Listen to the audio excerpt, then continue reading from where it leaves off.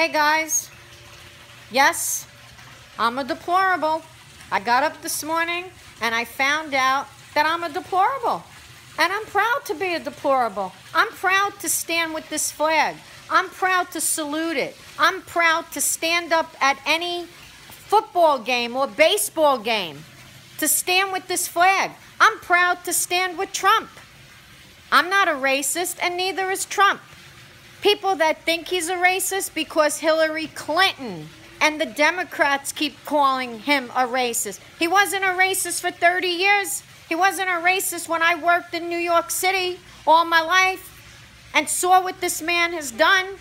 Okay? Why is it that he's a racist now? Because he decided to run for president. And the Democrats, all they have is the race card. I'm an educated, intelligent woman and a gay woman. I'm not racist, but I'm happy to be called deplorable. And I stand with Trump and Pence and I wave my flag proudly. I want to say the Pledge of Allegiance wherever I want. I want to say God wherever I want.